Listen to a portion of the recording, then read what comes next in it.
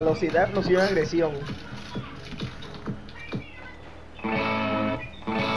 No, loco.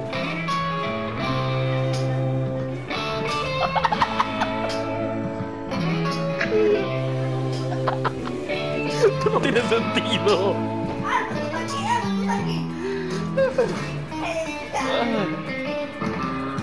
Manito.